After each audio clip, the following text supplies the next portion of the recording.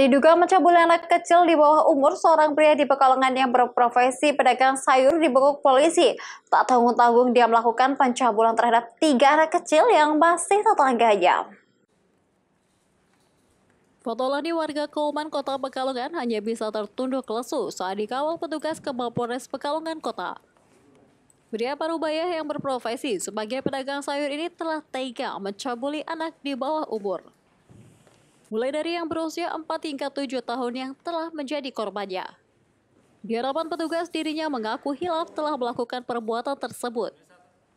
Pencabulan tiga anak yang menjadi korban ini dilakukan selama kurun waktu 4 bulan terakhir dan dilakukan di dalam rumahnya. Tersangka mengaku apa yang dilakukannya berlangsung secara spontan. Misal saja dengan korban atas nama Melati, dia melihat peluang saat Melati tengah kebingungan saat hendak membeli minuman saat waktu istirahat kegiatan belajar di TPK.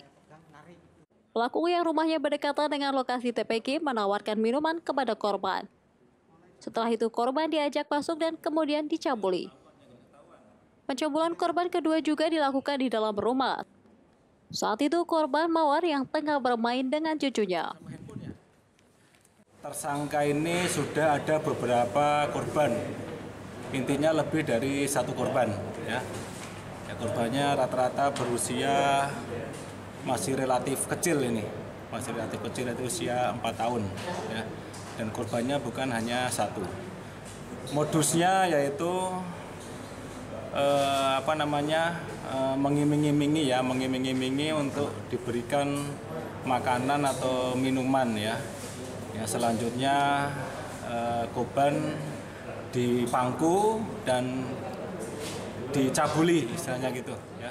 Dia mainan atau Pak, saya main. main sama cucu saya Pak. Main sama cucumu? Nah, Terus? Ya gitu saya mainkan gitulah, udah lari anaknya. Yang kedua itu. Tersangka akan dijerat dengan pasal 82 ayat 4 Junto, pasal 76 ayat subpasal 82 ayat 1 Undang-Undang Republik Indonesia Nomor 17 Tahun 2016 tentang penetapan peraturan pemerintah mengganti Undang-Undang Republik Indonesia Nomor 23 Tahun 2002 tentang pelindungan anak dengan ancaman pidana maksimal 15 tahun penjara dan ditambah sepertiga ancaman pidana.